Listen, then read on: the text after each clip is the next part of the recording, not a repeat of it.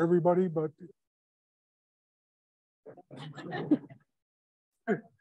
oh.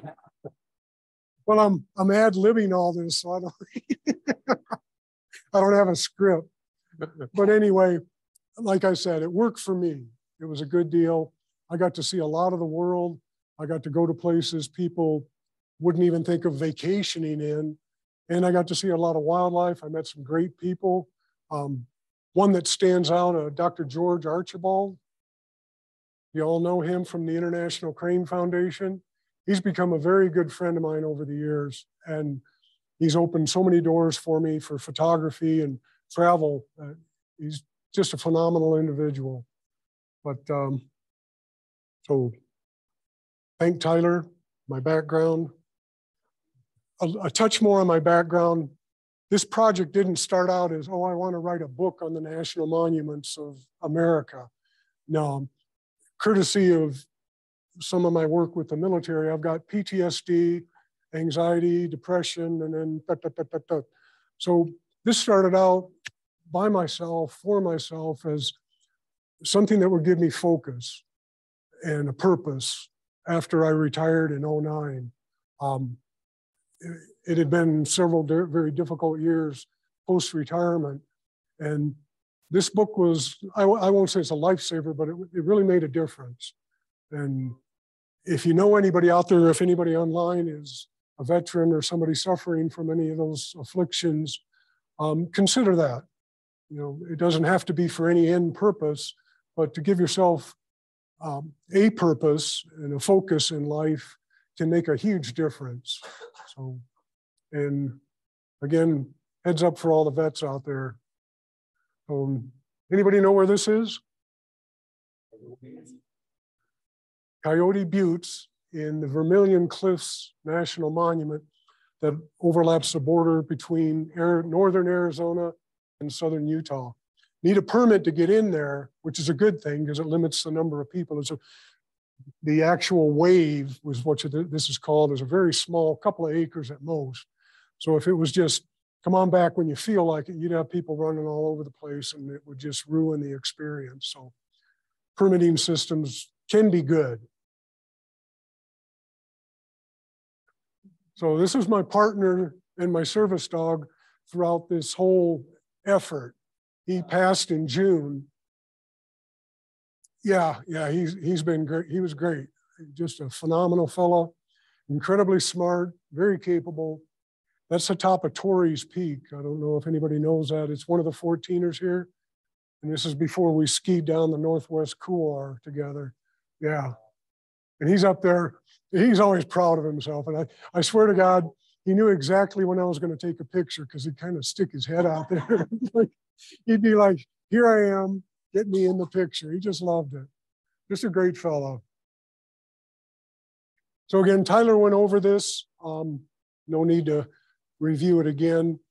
It's a great tool for the, a sitting president to protect lands that are, people get the sense, and you'll hear this in when people oppose the establishment of a national monument, they'll say, well, that's a land grab. Well, no, these are already existing federal lands.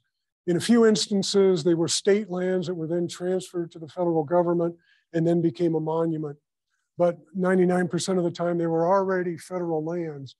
And I'm a huge proponent of preserving as much land as possible for the very reason that they're not making any more.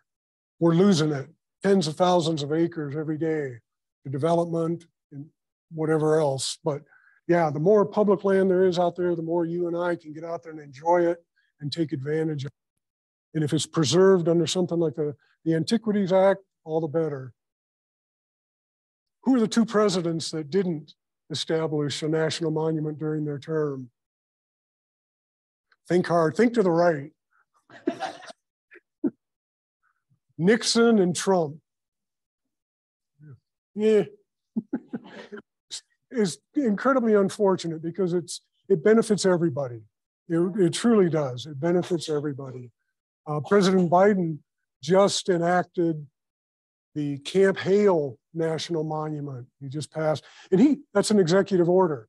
It can be undone, like they tried to do with Bears Ears and uh, Escalante, which is being reversed now. They've been challenged over the years, over the decades, and none of it's really held up in court. Once the president puts his scribble on there, it's good to go for the most part. This here, many of these national monuments are what they call dark sky parks. They're remote, many of them are huge, pushing a million acres or more.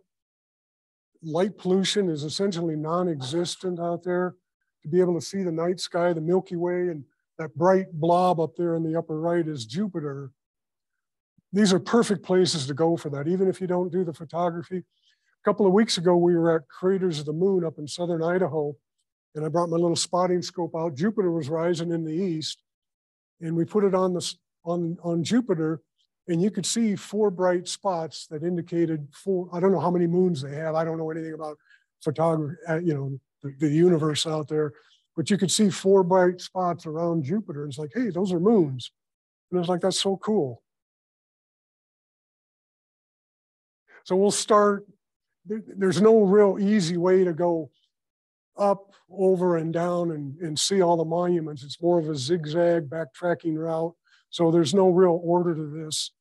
This is outside of Las Cruces, New Mexico, the Organ Pipes. And that's exactly kind of what it looks like, like an organ, I guess. That's what they were thinking. Lots of opportunity there. I'm going to go kind of fast. In the book, which will be for sale after the presentation, there's 76 monuments. And I've only chosen maybe 20 or so to show here. And the obvious highlight is are there birds there? So we'll kind of clip right through it. If you have a question, feel free to throw your hand up and stop me and we'll address it and then move on, okay? Lots of camping here. There's a horse trail that goes down to El Paso, I don't know, 20, 30 miles, something like that. There's a campground on the other side, Aguilar Springs, on the way to uh, White Sands, which was a monument, but now it's a national park. When did that happen? Uh, a couple of years ago. Yeah. Grand Canyon started out as a national monument and became a national park. We get six million visitors a year. So that's the quality of this, some of these areas, what it can be. What it, Rio Grande del Norte is up in northern New Mexico, right at the New Mexico-Colorado border. Uh, what's that little town there? Antonito. Yeah, just south of that. Yeah, yeah. Huge place. You can get lost there. Three agencies manage most of the national monuments, the Park Service, Forest Service, and BLM.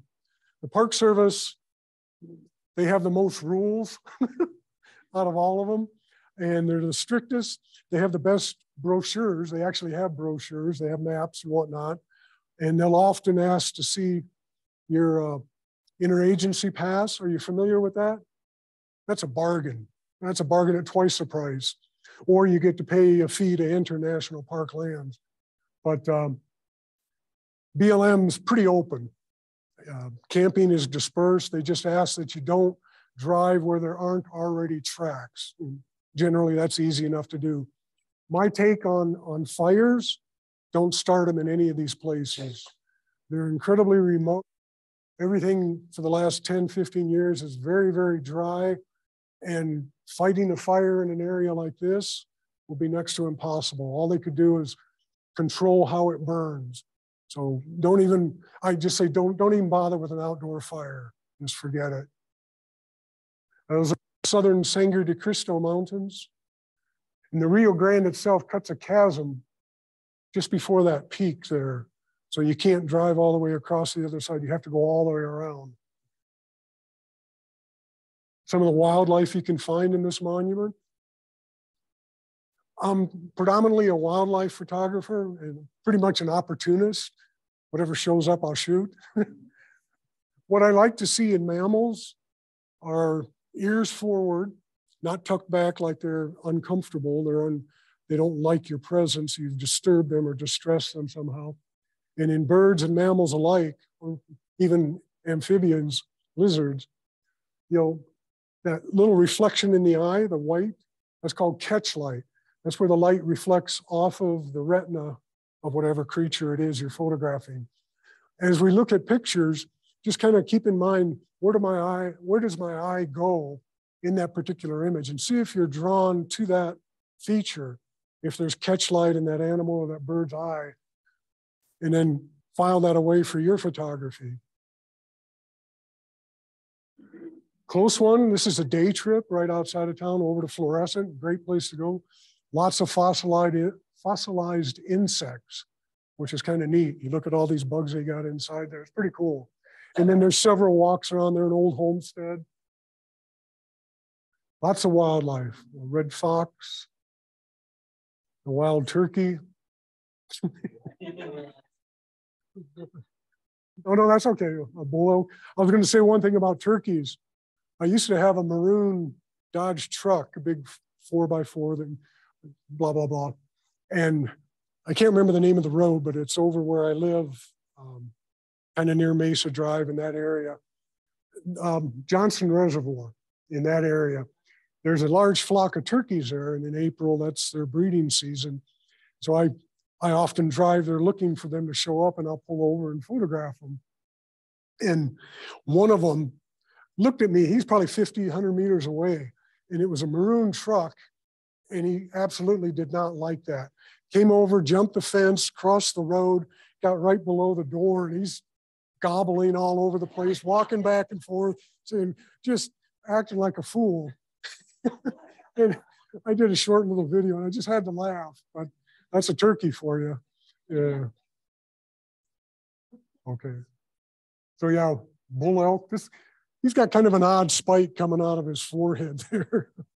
but elk are very common throughout the Rocky Mountains, especially here in Colorado. Browns Canyon, this lies between Buena Vista to the north and Salida to the south. Not huge, but the Arkansas River here is the really big draw for water recreation, uh, rafting, kayaking. It's a world-class fishery. It's kind of got everything, good camping, some, some backpacking trails. That's Mount Princeton in the background. Yes, sir. Um, I've been hearing from other people that like this is now a national park. That's true. I hadn't heard that. It's not to say that it isn't, but I just hadn't heard that. Yeah. And again, as I, as I mentioned before, it's easy. Congress has to give approval for a national park. And given our dysfunctional Congress, it would almost surprise me in this day and age that they could actually get together and accomplish that. Be a good thing, certainly, but yeah, they all have to sit down and say, yeah, that's a good idea, and, and then decide who takes credit for it, which. Uh,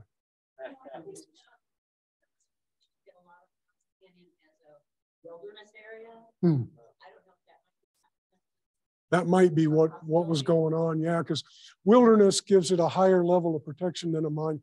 A monument, you can still do hunting, um, backpacking, hiking, whatnot, all these fishing, boating opportunities. Uh, they often do mineral, continue to do mineral extraction.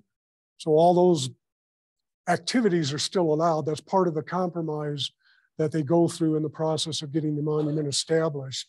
And then maybe later down the road, they can fine tune that a little bit or make it into a national park. But the first objective is to get it established as a monument because that protects everything within those boundaries. So if you want to take a commercial raft on the Arkansas River, this piece of it here, which is um, about halfway over by Nathrop, halfway between Buena Vista and Salida, this is called Seidel's Suck. And the suck is when the water is going along like this and then it drops down over a rock or rock features and then it comes back up. It's kind of like a washing machine. And they're doing it right. They're skimming over the top. If you get caught in it, you get to do that over and over, and, and it can be fatal. It can be very, very dangerous. But I watched one raft tip tip over, and everybody goes scattering, little heads bobbing down the river they picked everybody up, but it was kind of uh, a little concerning, but yeah, good fun. All right. There's a prairie falcon there. I'm not going to tell you where I found it. This is the baby over there on the left. both adults were there at the nest. Um, even though I, I, I used to hunt a lot and doing photography of wildlife, you, you kind of take some of that skill set and apply it to photographing wildlife. And I consider myself to be pretty good at stalking and hiding and you know being quiet and just being patient. But they like that, they knew I was there. no matter how hard I tried and how quiet I was, they knew exactly where I was all the time. I was probably a good 200 meters away from the nest, and I didn't get any closer than that. And, and still, yeah, good to watch them though. It was kind of interesting. I'm sorry, uh, Nikon. Yeah, I started out in the 70s with Nikon and just stick with it. Canyons of the Ancients, that's down in the Four Corners area. Uh, Sleeping Ute Mountain in the back there. This is one of the places where they extract, I think it was CO2, if you can imagine that. So you go in here and it's a very remote, again, BLM, not developed at all, but you'll see wells here and there for this and that. And those are off limits. You can't just walk up to them or anything. They've got work to do. And uh, next slide. Yeah, drill down and pull. I'm not sure what. I'm sorry. No. Yeah, yeah, yeah. Oh, okay. To push it out, and pressurize it and move it up. Okay, makes sense. With a lot of the monuments are going to look like this. This is an old, I'll say ruins, they're artifacts, but they don't look like much.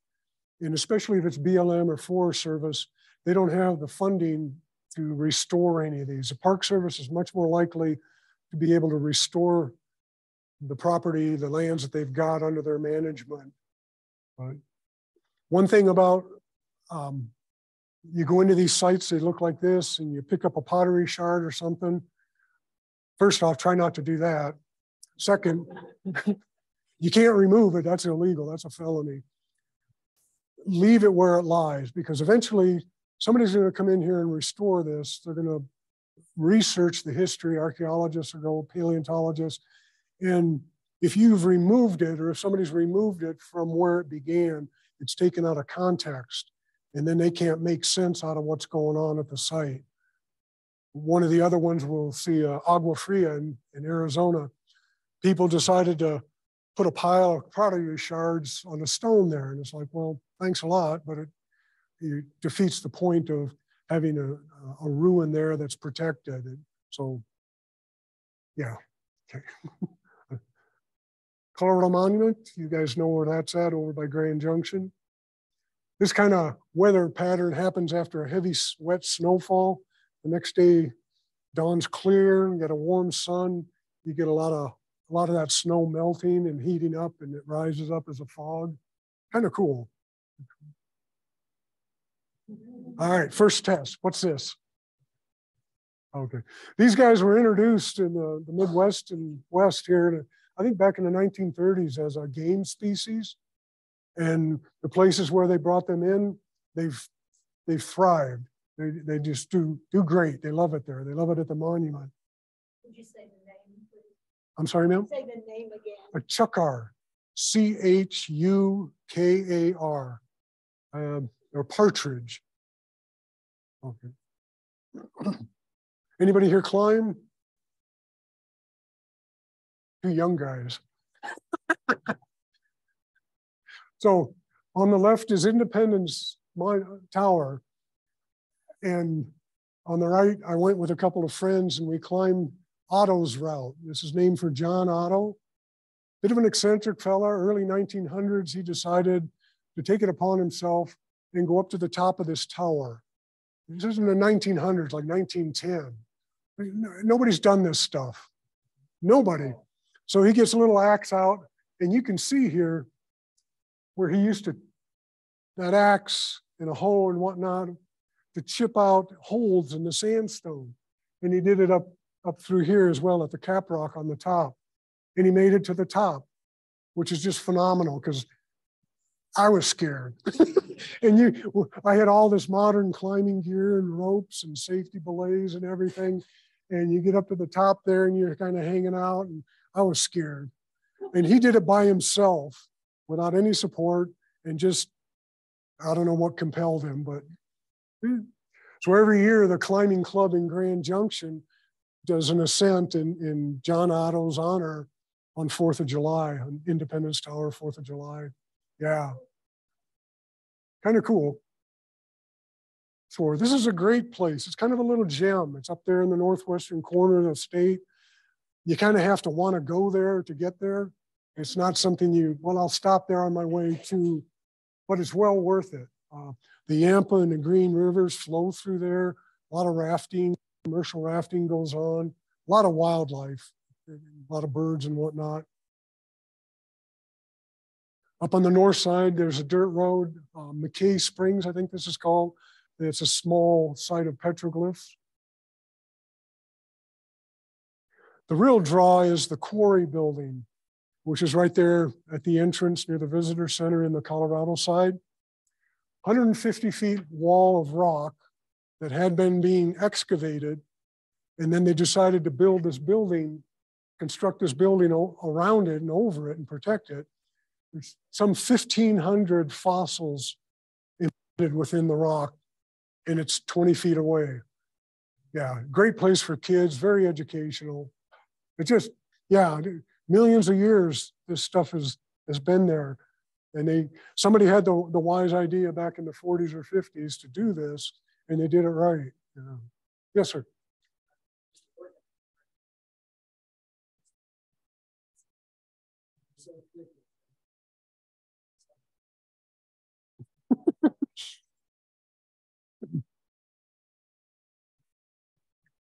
you cringe every time you go over one.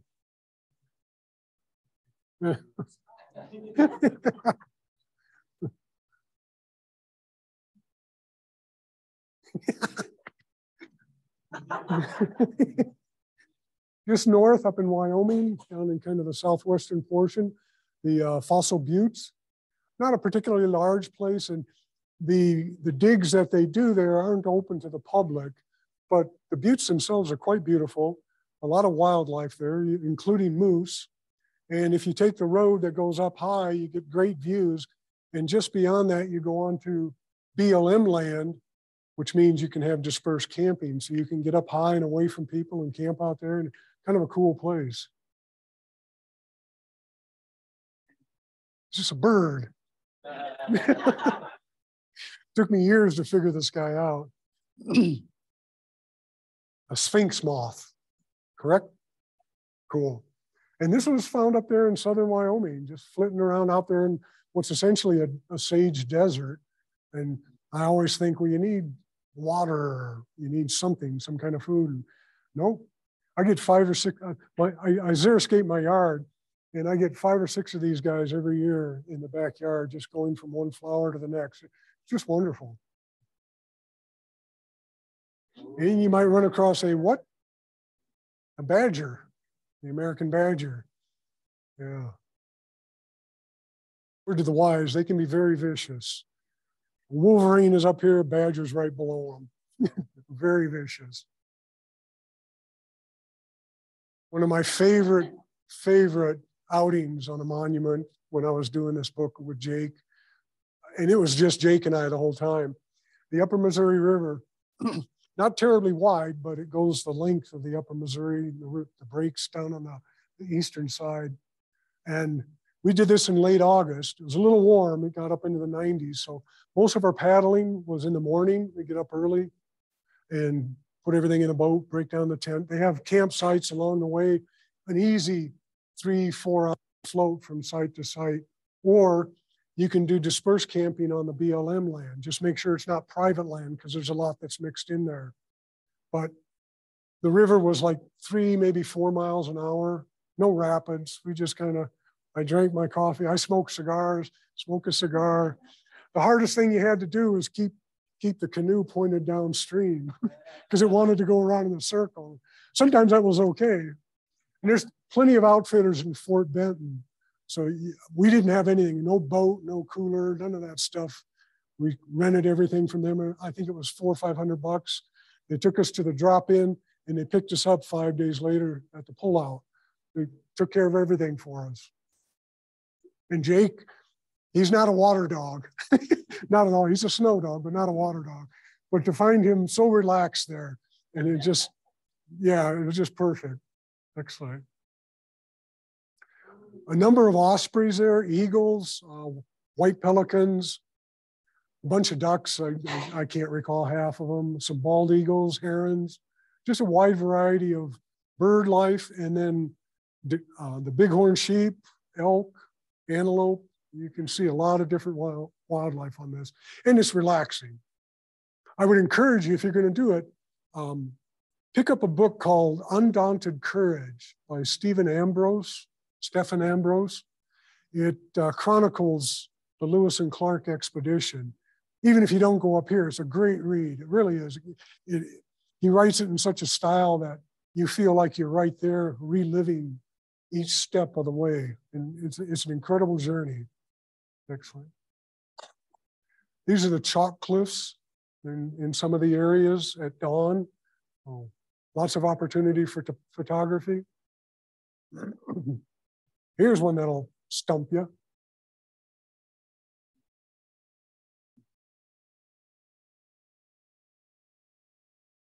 Anybody got a guess? Yes. A swan geese. That's an Asian species. I put these in here because most of you are going to look at these bird pictures and say, I know that, I know that, I know, I don't know that. so, so I put a couple in here to just stump you throw you a curve. I appreciate your getting along with it. Yeah, that was in uh, River Valley in eastern Mongolia. Um,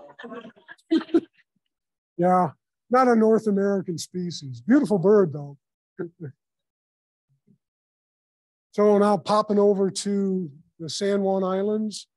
So you've got the Strait of Juan de Fuca coming out from the Pacific, and then the Puget Sound, basically Victoria Island up here. Not a big monument, but dozens, hundreds maybe of islands within the protection of the monument itself, an archipelago, if you will. Most of them are only accessible by, by boat. And if you want to camp there, you have to use either a wind or human powered vessel to get there. You can't take your motorboat up there and crash into the shoreline and say, oh, I'm here. No, so they protect them very, very well. What do we got here? Cormorants. The one on the left is a double crested, and I believe the one on the right is a pelagic. Not a what? Do they have that hook bill? On the west coast. Yeah, yeah. Okay. Well, they were in a. It was at the uh, at the dock at Port Townsend, which is up on the Olympic Peninsula, and they were all in a group of probably a dozen individuals of both these two species. Would a Brandt find itself? The Brandt is a bit bigger than a pelagic. So uh-huh. That looks to be the same size. That's the same size. Double breasted. I may be wrong, but I think Tyler Brandt's yeah, the description I looked at for pelagic was they they had a glossy appearance, and that's kind of all I went off of. I, I I, don't really I know the one on the left's a double, yeah yeah because of the yellow, but the other one was kind of a, a bit of a guess, so we'll just leave it. So you got to take a ferry to get out there.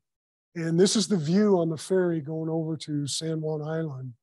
That's Mount Baker in the back. It's about just a little under 11,000 feet, heavily glaciated. Uh, it's worth it just for the ferry ride. And the thing with the ferry, you pay your initial fare, and then you can do what's called ferry hopping from island to island to island without paying any more. So your fare gets you out there and back in to all the islands that the ferry lands at. All you got to do is get in line for the next one to show up. So it's kind of cool. Chance to see orcas? killer whales. There's several pods, resident pods, both within the Strait of Juan de Fuca, Fuca and uh, Puget Sound itself. So Anacortes, the jumping off point for the ferry on the mainland, has several gray whale and killer whale tour operators. So if you're going to go up there, you're going to be in that area, check on that. Are you guys familiar with the gray whale migration? So from the Bering Sea up in Alaska, the Gulf of Alaska, they go all the way down the west coast, down to Baja, have their calves, and then the next spring go all the way back up again. It's a huge journey, tremendous. Anybody know what this is? Which one? Mount St. Helens. It's right there. Even I know that. So picture, picture this. I don't know if I can do this. Going up to a, a cone about 1,300 feet higher. And that's what was blown out that north side of Mount St. Helens in 1980. That much land mass. It was incredible. They said the lateral blast, the winds were over 600 miles an hour. Yeah. And the mud, this is a Toutle River down here. The mud got so high, it blocked the drainage down into the Columbia River, which is a huge river in the west. And it dropped, I think, 11 or 12 feet. So big, big event, huge event. Anybody ever go to the top of it? You have?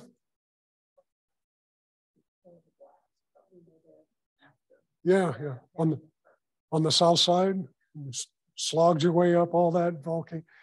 There's a better way. Put your skis on, skin up, and then ski down. Just do it a little earlier. Yeah, it's a slog getting up the south side. You need a permit. Uh, you get it in Cougar at the, the station there, but uh, not difficult. It's about 5,000 feet of elevation gain. So it's a bit of an effort, but uh, again, I would ski it or board it. I'll just go a little earlier. Um, you don't have the crowds and it's much quicker getting back down.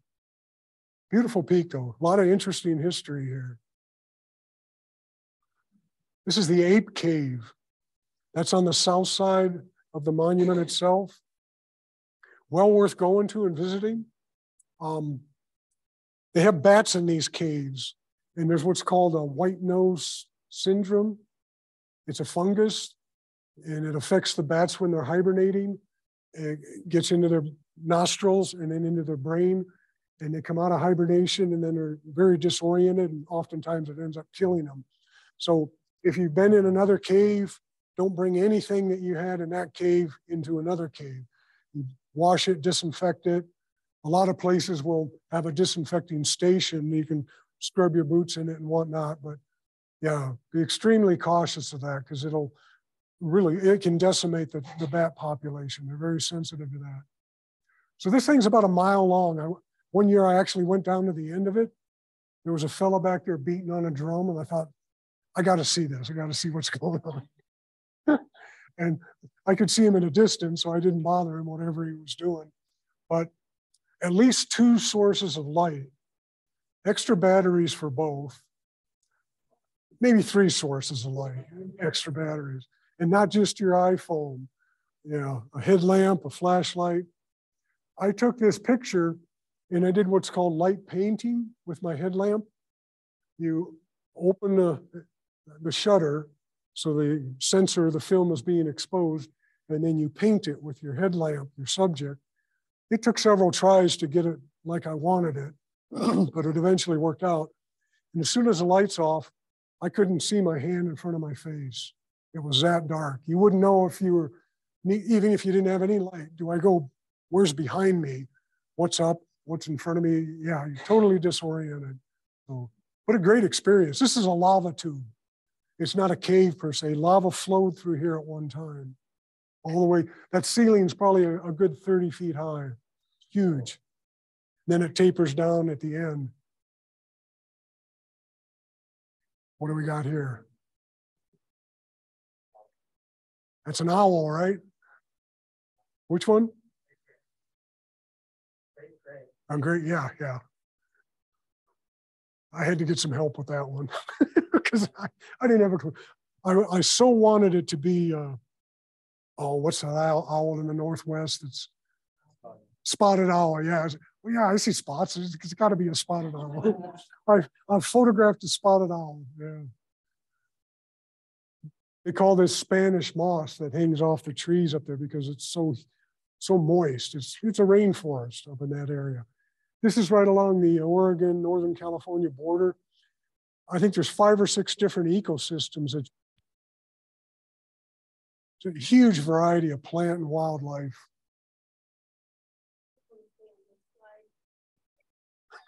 You say, what? So what are these guys? Which one? Grebes, yes, but Clarks are Western. Yeah, Western. The Western and the black goes under the eye, the Clarks, it goes above. And that's as much as I know. but yeah, enough to keep them separate because you'll often find them in, in similar habitat doing similar things like this. Bears ears, huge monument, quite big.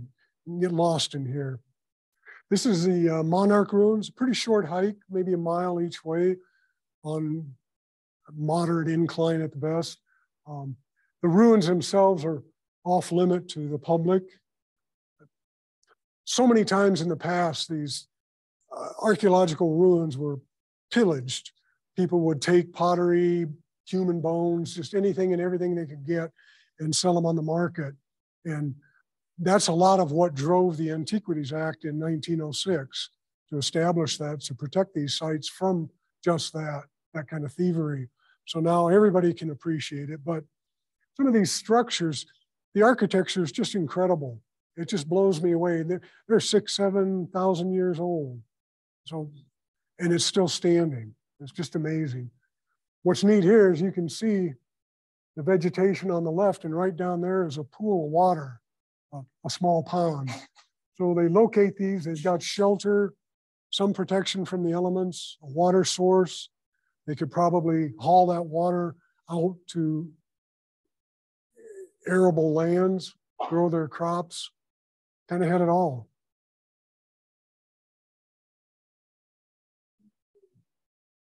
Who's this guy? Because I don't, I honestly don't.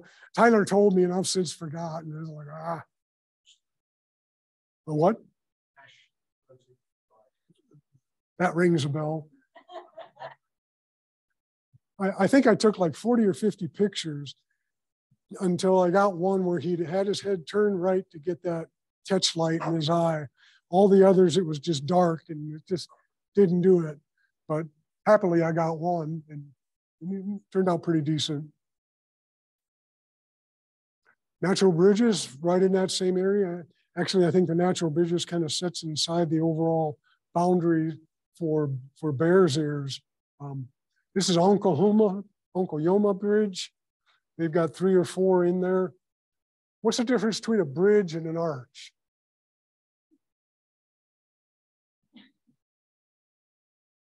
Come on, children. Students. So an arch often forms on a ridge line, and it's a result of uh, natural forces, freeze thaw cycle, rain, et cetera, et cetera.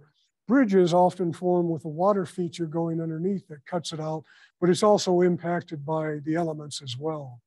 But the distinction is arch on a ridge, a bridge over a water feature, a river or stream of some sort. This is huge, by the way. Grand Staircase, Escalante, million acres. If you can't get lost here, you can't, you're just not trying. There's a road, hole, it goes down, I don't know, 50, 60 miles to a hole in a rock.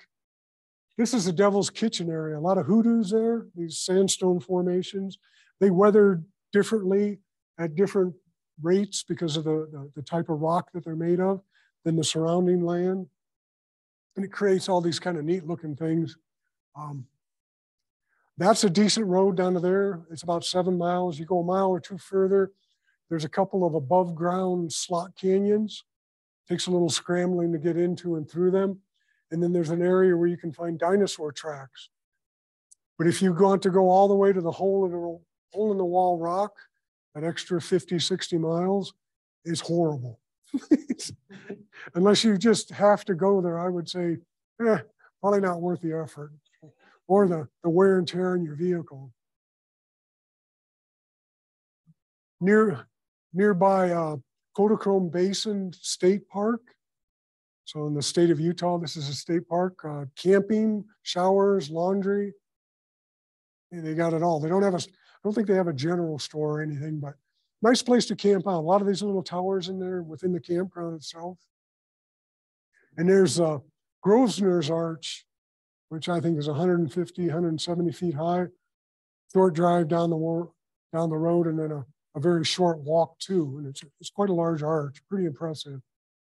This is the uh, Lower Calf Creek Falls. Again, a couple three miles one way on a you're following a stream bed, so it's almost level. And you'll have a if you do this in a, in a warmer weather, you'll have a good 20 degree drop in temperature just just hanging out near the falls themselves. That reminds me, another thing, I wouldn't recommend going to most of these places in the middle of summer. They're pretty un, inhospitable. These are, for the most part, winter destinations, and they're great places to go in the winter. They'll give you decent temperatures, maybe a little chilly at night, but for the most part, 60s, 70s during the day, very comfortable, nice, clear, stable weather. So yeah, Lake Mead over in Gold Butte, Nevada. This is probably taken eight or so years ago, maybe a little more. And I can almost guarantee that water levels dropped significantly from this. Both Lake Mead and Lake Powell, they're down to where they can't, I, I think they're right on the cusp of not being able to generate power anymore. So they're, they're in a bad way. Beautiful sunrises and sunsets in the desert though. You get a little bit of dust in the air, and that kind of gives you some color in the sky. Uh, that's kind of nice. We Westerners call this a newspaper rock. So some guy or gal came up here and said, that looks about right for me. I'm going to scribble something here. I'm going to create this feature. And they're found in a lot of different places. And then somebody else comes along and says, well, I can one up you. And they, they draw something and they put their foot on it and their hand on it. And they draw the animals they hunt and live with. And it's, it's a little bit of a history, a printed history, if you will. Anybody ever been over there to, uh, it's in the bear, outside the bear, Bears Ears, San Juan Island. There's a panel of petroglyphs there outside of uh, Bluff, Utah. It's huge and it goes for hundreds of feet. It's incredibly impressive. They got camping right there on the, right along the San Juan River. Worth going to this winter. Yeah, just amazing. And then up by Indian Creek, they have another newspaper rock, if you will. Just Basin and Range, another huge monument. Another place to get lost. Nobody's going to be there. Every time I've been, I maybe ran into one other vehicle, and that was it. It's like you got 700,000 plus acres all to yourself. Just a beautiful setting. The desert tortoise, my friend Gary let me use this photo. He's a professional photographer as well, but uh, very endangered. You see one, don't disturb it. Don't try to move it from one side of the road or whatever to the other. They'll get there. You can use your car to block traffic if you want, but don't actually pick them up or anything. Just let them do what they do. Next slide, please. Anybody ever hear of City? This is what's called an earth art by Michael Heizer. He's probably a decade older than I am, so he's up in his 70s. He started this in the early 1970s. He's been at it for over 50 years. And he finally completed it, finally made it open to the public. This is a mile long and over a quarter mile in width. It's just amazing. I've not seen it. It's been closed to the public until just this year. At the end, there'll be an email address if you want to get tickets they limit it to, I think, a half a dozen people a day. And unless you live in one of the adjoining counties, it'll cost you 150 bucks per person. But this this is like a 30 or 40 million dollar project that he's devoted essentially his adult life to. And I'm gonna go see it. I'm gonna try to get there to see it. I'm sorry? Well, he uses earth and concrete to create various forms that represent ancient cultures like the Aztecs and whatnot. You know, kind of a modern day look at the Mayan civilization, sort of, or his, his interpretation of that. And it's, it's intended to last for some time. Uh, so Las Vegas, you got Las Vegas down here. You go up 100, 150 miles or so in the basin and ranges up here. You know where Area 51 is? It's right next, it's right next door. and they, they have this highway. What's it called? Is it called the Celestial Highway? Something to do with Area 51. Worth a drive just to check the box. But yeah, so it sits up there kind of um, central to the state of Nevada. Not much around there. There's a store, I think it's in Alamosa, south of that, uh, where you can pick up groceries and whatnot. But aside, aside from that, there's nothing. Most of these have no facilities, no water, no food, no cell reception. You're on your own. So whatever decisions you make, consider them very, very carefully. If any of these roads are wet, don't even bother. You can have the biggest, meanest looking four by four in the world you're going to get stuck. And then you can start flipping out thousand dollar bills for the tow charge. Because that, that's what, well, in Hovenweep, down in the Four Corners area, they've got a sign in the visitor center that says just that. Tow charges start at $1,000. They start there. So, yeah, use, use very, very good judgment. Next slide. California coastal, not very wide, not a lot of land acreage. It extends out into the ocean and it runs the entire western coast of California. But you, you can only access it in a few places via the land, which is probably a good thing. You don't have people crawling all over the place. But uh, this is one of them here. And I think they've opened this lighthouse up. They've re, refinished it, renovated it, so that it's safe for people to go inside again. Point Reyes, I think maybe. Next slide. What do we got here? Ah, you all know that. Beautiful, beautiful song. Have you heard one? I used to do climbing all over the Pacific Northwest, up in the Cascades, and we'd hear one of these things and it would just put you in a whole nother world, a totally different frame of mind, just a gorgeous, gorgeous melody. It's a member of the thrush family, which a robin is a, a member of the thrush family. This is called a varied thrush. And they're generally found up there in Northern California, the Oregon coast. Yeah, just a wonderful bird. Yeah. Right up there with a meadowlark. oh, lots of opportunity for photographing the sunset on the ocean. This there were actually waves moving along here. So it became, it was like a 30 second exposure. So those waves were kind of muted out into almost like a fog-like appearance.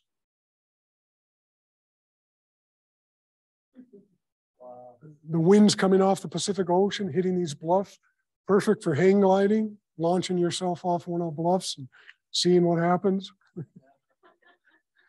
the guy on the left, that's at Patrick's Point. It's a real popular state park area that they do a lot of surfing at, very accessible for these guys and gals.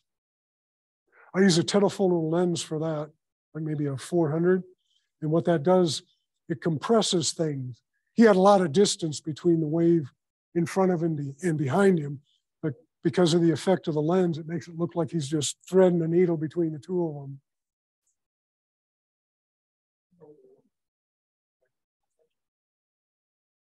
That's only half of it. Black. yeah, the Americans are what we see like down in Texas and whatnot. The black ones are typically going to be found on the uh, Pacific coast. Squawky birds. So what's this? Carrizo Plains, kind of south central California. Um, this is Wa- the Wallace Creek bed. You have the Temblor Mountains back here, the St. Andreas Fault running along here. And this is how that fault has moved 400 and some feet over the years. It, it is, for me, is the best example of what a fault actually does, what it, physically what it, what happens when it's shifting and moving. So they say if you stand there for a million years, you, will eventually end up on, it's moving to the south, you'll end up at the, the Golden Gate Bridge. It moves about as much as your fingernail grows in a year's time. Soda Lake here is a stopping area for uh, migrating sandhill cranes. They may or may not be there. And this is one of my, I love this picture. it's great. Mojave Trails, another huge monument, 1.6 million acres. Outrageous. This is where the US Army trained in World War II to fight the African campaign and the campaign in Europe. Um, they had over a million troops here at one any given time, training up to go fight World War II. Patton trained here. It's huge. They've got a camp there that's still preserved, um, one of many that were located there during that time. This goes back to what's known as, the, as the uh, Cadiz Dunes. Used to be you could access it from the north, and it was only a, a five mile drive down a lousy road. Now you have to come up from the south, and it's like 23 or 24 miles up a lousy road. And I truck, which is pretty capable, and it had a camper on the back, so it had plenty of weight and everything. But as you can see, it's like sugar sand. It just kept going deeper and deeper and deeper. And it's just me and Jake. And Jake, Jake doesn't have a thumb, so he can't work a phone. So he's no help. He can't hold a shovel. He'll just go lay off to the side and watch me. But we decided at this point, back over to the side onto a hard pack, and we camped there the night. And a short walk up to the dunes themselves, and well, just absolutely gorgeous, untracked, untrammeled, no ATVs running up and down these things. And I had it all to myself. Yeah, just gorgeous. We stayed there a couple, three days for that very reason because nobody else was there. Some of the dunes in Mojave actually are singing dunes. Mhm. So you climb to the top and you go down, and as you go down, they actually sing. Because of the sand movement. Mhm. I didn't notice that, but I tried not to walk out onto the dunes. If you're going to go there to photograph them, try to stay along the edges because somebody may come back after you and want to photograph it. And sometimes the tracks are nice, but I'd say most of the time, probably not. That's not what I'm, I'd be looking for in an image of, of sand dunes at sunrise. Um, yeah, great place to go. If you take a vehicle to these places, one of the best things you can have are good tires and not all season, more like all terrain kind of tires, sturdy with good side, strong sidewalls. They can take a beating. Um, obviously have a first aid kit, a shovel, maybe sand tracks. Um, forget your cell phone, it's not gonna work. So don't rely on that. What you got between your ears, rely on that. Don't make that decision if there's any hesitation or concern about it. Yeah. It's much easier to walk to a to some place than it is to get yourself pulled out or towed out. Organ pipe. So that's the organ pipe cactus on the left. The one in the middle is a saguaro. And then the one on the right there, the teddy bear looking thing is a cholla, cholla, cholla cactus.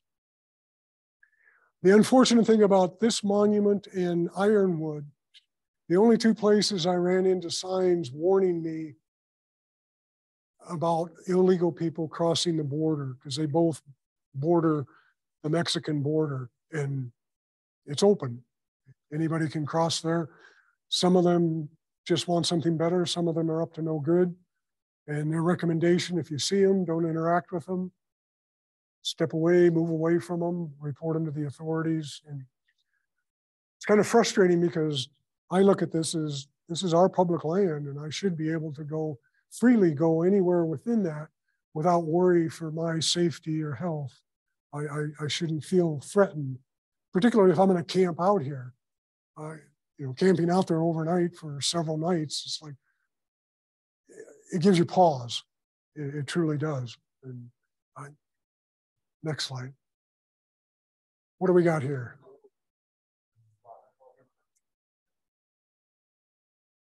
It's the desert cardinal. What's his name? Pyrrhuloxia. Yeah. Look at those, that bill. Or you can probably crush your finger. That's incredibly powerful. Yeah. Definitely busting up seeds. Oh, who's this guy? A verdin, a male verdin in breeding plumage. Verdin. V E R D U N, is it? I N, verdin. And again, it amazes me. I can go to these essentially desert areas and maybe there's some habitat that suits them, maybe a water feature. And the number and you can find there is just astounding. Yeah, it just blows me away. It's like this is the desert. What are these guys doing here? It's like, well, they do what birds do. Again, beautiful, beautiful sunsets, sunrises.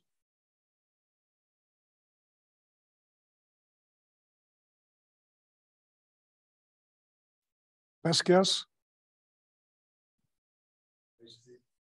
Yeah, Say's. Thank you. I know nothing about this bird, what, what its characteristics are, but again, another very elegant looking bird that you can find out in the desert of all places. Chiricahua, this is down in southeastern Arizona, right down there in the corner by Willcox. Great place to visit. There's a lot of um, history there. Cochise's stronghold, the climbing area. Uh, around Willcox, there's a, a, wintering area for sandhill cranes. If you're looking to find the elegant trogon, this is the region that you want to go to. They have what are called sky islands, meaning these high peaks. You'll have a desert floor down here and then a totally different environment on these higher peaks. Maybe it's ponderosa pine for all I know, but it, it changes three, four, five times as it goes up in elevation. So that attracts a variety of different species as well. So a lot of good opportunities for birding. Those are called standing up rocks by the Apaches, by the way. So what do we got here?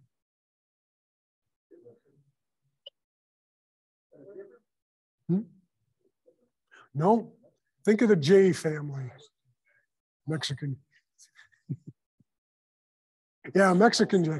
And I saw this at Chiricahua and I looked at that kind of like you, I said, what the heck is that? Because I didn't, I'd never seen one before. And I thought, well, take a picture of it and figure it out later or have somebody else figure it out for you. And it turns out he's a Mexican Jay. So glad I did.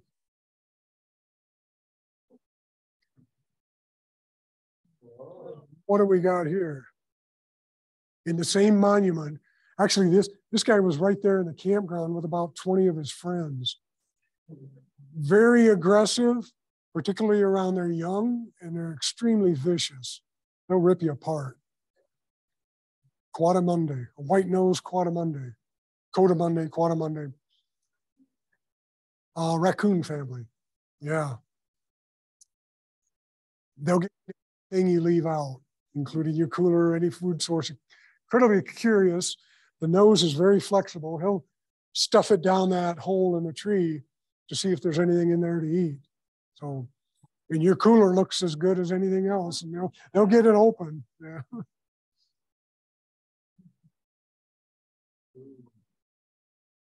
We know this guy. Again, an incredibly melodious song, Descending. Canyon Wren, yeah. And again, I'm sitting at the campsite, smoking a cigar, just letting the morning present itself, kind of evolve, if you will. Morning coffee, Jake's laying down there by me, and this little guy shows up. One of the things they like to do is look, look in your wheel wells and, and up around your front grill and fender and pick up the bugs that you've hit on the highway. it's a it's like a buffet for them. so I I sat there and I probably took 50 shots of this guy just popping around, doing whatever they do and off my truck. this is looking east towards the San Simon Valley. Again, this is a pretty good sized monument, beautiful sun, sunrises, sunsets. And, uh, this is from what's called Massai Point, which is the highest point in in the monument itself. You can drive up there, lots of trails. Almost all of these monuments have trails for hiking, horseback riding. Very few are designed for vehicles, though. Ah.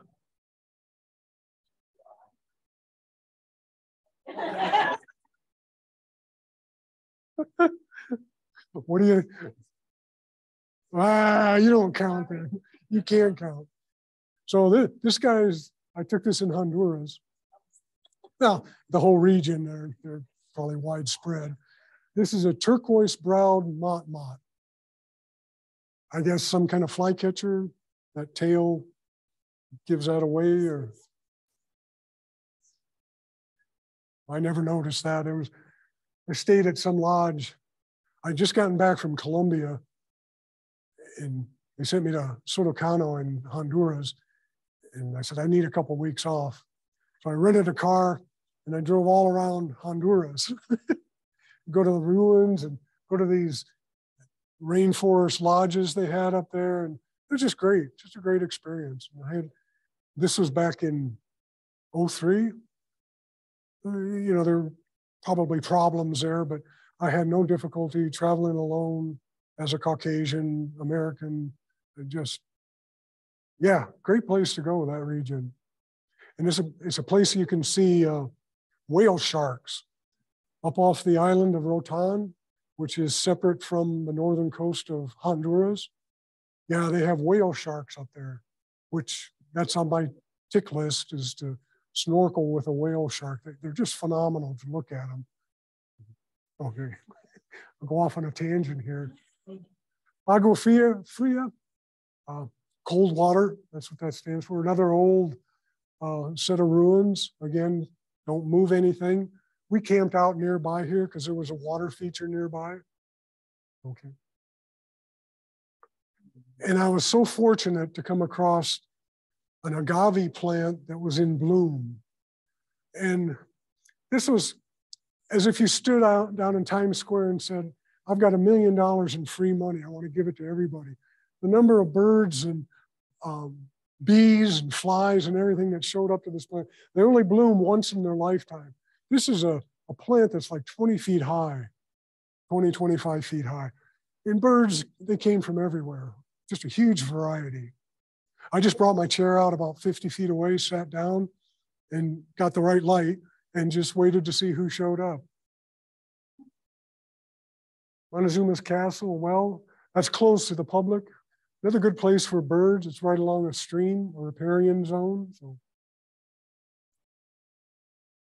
this is kind of interesting. This well, if it is, pumps out like 1.6 million gallons of water a day.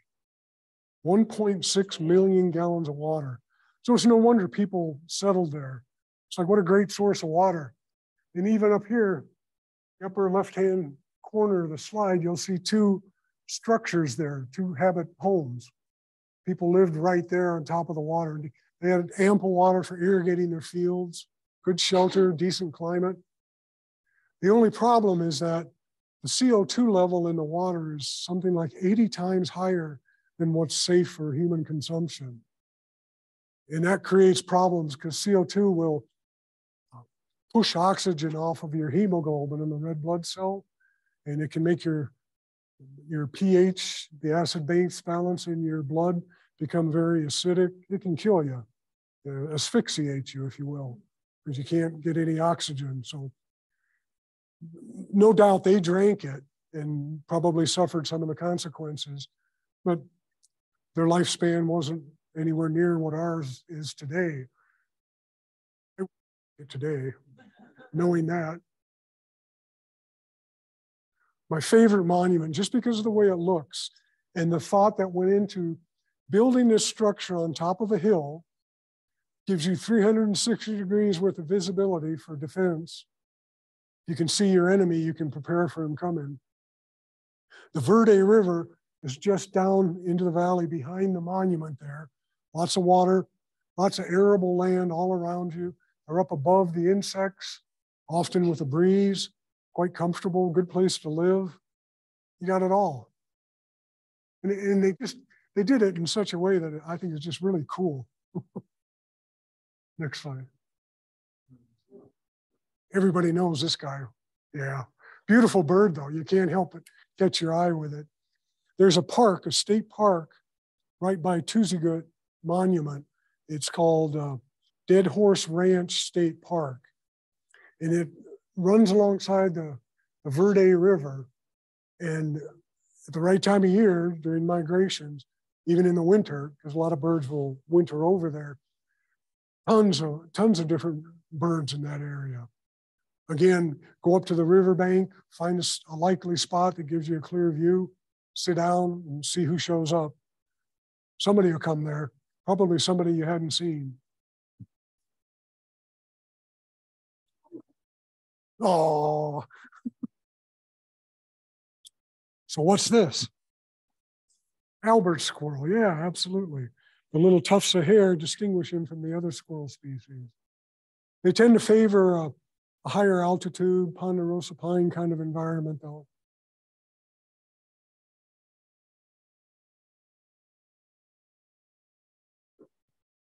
Yeah, vermilion flycatcher. This is one of about 100 shots before I got one that was even semi-sharp. And even then, to be honest, the, the fly or bug in front of him I actually moved that from another part of the picture just to make, well, to be honest with you, and to make it a little more interesting. He was going for that fly, but he would have been right up there at the top of the picture. So, yeah, this is, uh, oh gosh, east of Phoenix, Apache Reservoir, huge reservoir. They got like 500 campsites there. Now it escapes me the name of the monument. Somebody got a book out there they can look at? Well, what I keep blathering on. Ah. It's a small monument. They got an upper and a lower ruins. The lower ones are open to the public. The upper ones open to the public, but you got to go with a guided tour from the Park Service. So, yeah, it's in Arizona. Wouldn't be important because that's not what I'm talking about. We're talking about Tuzigoot, but uh, but now I now that I brought it up,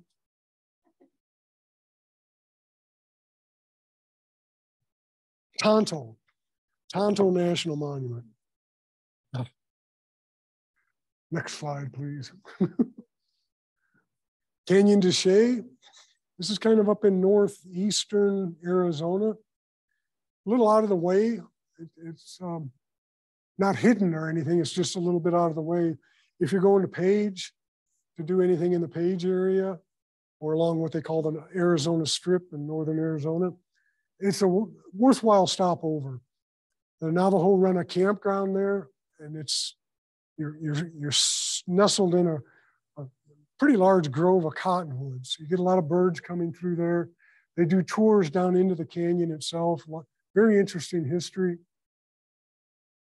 Lots of different birds come through there and they hang out in those cottonwoods. What's that? Bullocks. Bullocks oriole. Next. And this guy. So it's a bluebird, right? Western mountain. Yeah, western bluebird. I used to get those confused because surely the all blue one must be a, a Western bluebird, but no, they look, a, the Western bluebird looks a lot like the Eastern bluebird. there's a lot of similarities between the two. Rainbow Bridge, so the situation here has changed.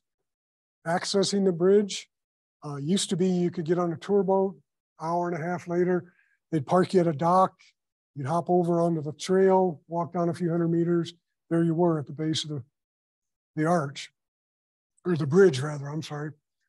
Now, with the lowering levels in Lake Powell, and they've had some severe rains out there and the damage from that, the Park Service has removed the dock. So you can run your little boat up there for a ways, but then like they say, proceeding any further is at your own risk. and, and they're not gonna come get you because you're quite a ways from anyone. So if you wanna visit that, it's, uh, do your homework, you know, research it carefully and decide if that's worth the, worth the trouble or not.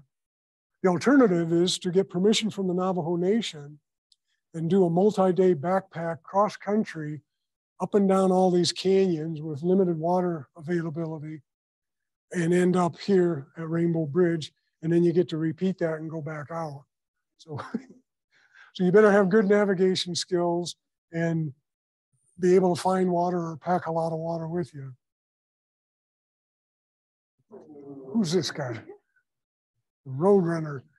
You know, I've only seen them fly a couple of times, and it's only to get up into a tree. So they're, they're almost a flightless bird. Next slide. Anybody know what this guy is? So if I recall, something about an antelope squirrel, I believe, if I'm not mistaken. We get a consensus here, we'll go with that.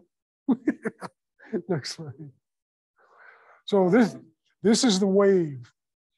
You can see my backpack and tripod, and you can see how very small that area really is. You can't have 50 people out there every day. You really have to limit the numbers. You can do an online lottery, or you can just show up in Kanab at the, I think it's a Forest Service office or BLM office, put your name on a list, come back the next morning. If they pick your name off the list like they did for me, good to go. Next day you go in there. It's about three miles looking in that direction from the parking area to this. It's it's not real well signed, but it's adequate if you've got a sense of navigation. And I'd bring a compass, certainly.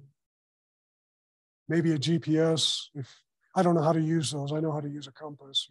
I can mark waypoints. And Jake and I stayed there through the evening after sunset because I wanted to get some some night photos of the the formations and then the stars. And they didn't turn out so good.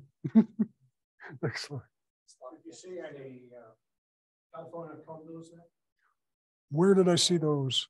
Not here, but at Whitmore Overlook in uh, the Gold Butte.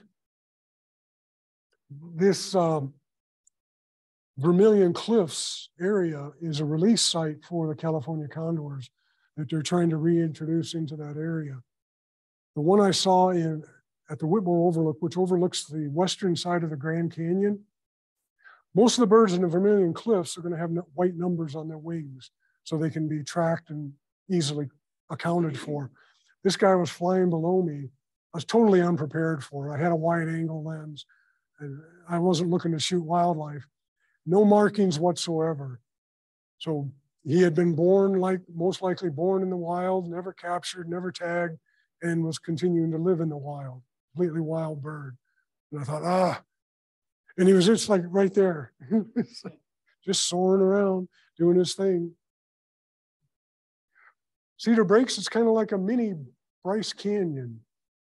Yeah, similar formations, lots of bird life, a lot of flowers. But this is at a pretty high elevation, I eight, 9,000 feet. So don't, don't go there in May expecting a spring bloom. Look at June, early to mid-June. Call the Park Service that, that's up there and say, well, what are the flowers doing before you go there? This is a plateau fence lizard, I believe. So I got down on my knees to try to get an eye level view with him eating his his or her lunch. oh, that's where it is. Whitmore Canyon is Whitmore Overlook is in the Grand Canyon Parashant, I'm sorry. Huge place. We drove in there, I don't know, 30, 40 miles to get where we are. And we're still seven miles away from the Grand Canyon down the road. But there's a lot of volcanic debris here. And it was just going to puncture a tire. I don't care how tough it was. There's a ranch there, the Bar 10 Ranch. They cater to a higher end of clientele for rafting and whatnot. And he told me they rent out their ATVs to their clients. And he, he goes out there every day to fix flats on them. Every day. He says the road's so bad, the rocks are pointed, they just rip up your tires. So we camped here and we're happy for that. Very secluded, isolated. Nobody's home except me and my dog. And at the Whitmore Overlook, it's a camping area that's run by the Park Service. The other one's run by the, it's all within Grand Canyon Parashant. But the Park Service has carved out a little piece of it that they manage. And you have to go by their rules to get through that piece and to camp at the campground. So you need to go to St. George, Utah, go to the interagency office, get your camping permit, and then drive 30, 40 miles down there to the overlook. If you're going to do that, I would say do it at least for two days. Yeah, at least two days, because it's a lot of effort to get down there. And the last part of the road is you kind of need a proper four wheel drive to get up. It's real rocky, rutted, and it's pretty steep. I didn't have any trouble in my truck, but you know, that's a good truck with proper four, four low. You just kind of go low and slow. The good thing is, is they've got a parking area a quarter mile away. You can park there, pack your stuff up to the campground, camp there if you want for a few days, go down to the overlook, look down in the Grand Canyon like this, down to the Colorado River. And then when you're done, just hike back over to your, to your vehicle. Beast getting stuck that far from anywhere, busted an axle. what do we got?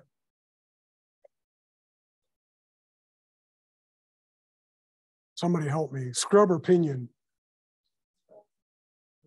Scrub jay, yeah. Again, out there in the middle of the desert. Weep is part of this monument, several hundred feet on this embankment of uh, petroglyphs. It's a little difficult to access. So what I would recommend if you wanted to go down there, bring a pair of binoculars because the trail runs right here and you can easily see all these binocular or all these petroglyphs with binoculars without having to go up there. And don't touch petroglyphs. Your fingers have an acidic oil on them that will damage them over time. So. This is at the outhouse at the, the campsite.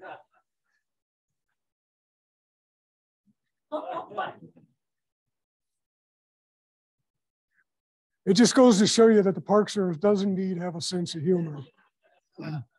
If you want to do a screenshot, this is the email if you're interested in going to see City up in Basin and Range Monument in Nevada. Again, very limited access, not inexpensive, but I anticipate it being an incredibly unique experience. Is this in your book? Yeah. Oh, the, the link isn't because it wasn't open before. No, they just opened it this year. They won't be, be taking the 2nd of January. So you shoot them an email, give them your dates, how many people are in your party, give them some alternate dates so they can work with that and take it from there.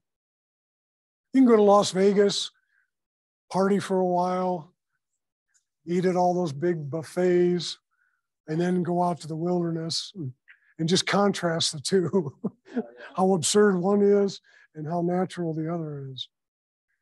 And I think one more slide, if everybody's good with this. And so that's skiing down Torrey's Peak after we summited, Jake and I. Yeah, and he loved it. As he got older, I, would make a few turns and then I have to wait for him to catch up, give him a cookie, and then I make a few more turns. But he just, he did a 180 in his person. He came to life on snow That was in his DNA. It was his element. He just had a blast. And we be, when we ascended this, it was about 4,500 feet going up and you'd have to kick snow steps in the snow. And it, previously he'd gotten smart and he just followed in my steps. So usually I take a big step and I'd have to accommodate his reach and make him smaller so that he could get into each of the steps and, and follow us. The cool thing that he did as we were climbing this, it just blew me away. He's so polite. He had to pee. So he gets out of the track, he walks over off to the slope, maybe 20 feet away, pees, comes back over, gets back in the track, and we keep going. It's like, who would have thought? who would have thought? What have done? yeah, he's, he's yeah, incomparable. Just a fine fellow. So, so this is it. Thank you guys. I know. Get out of here.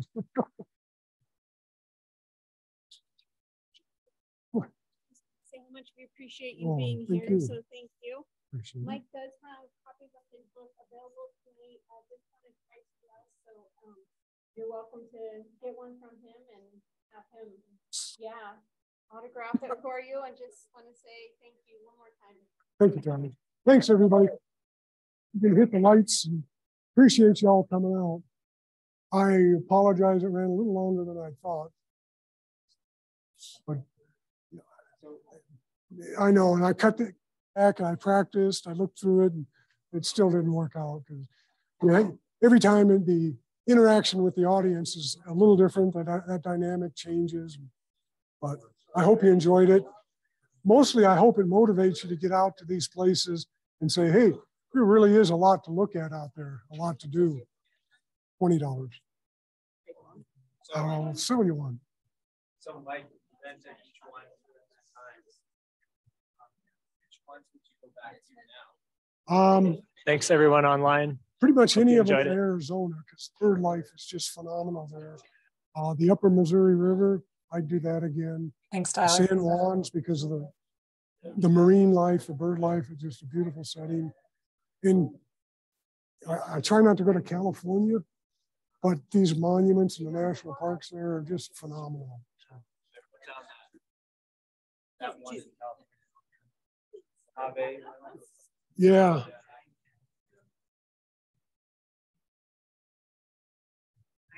should I write something on these? One, two, is one for you?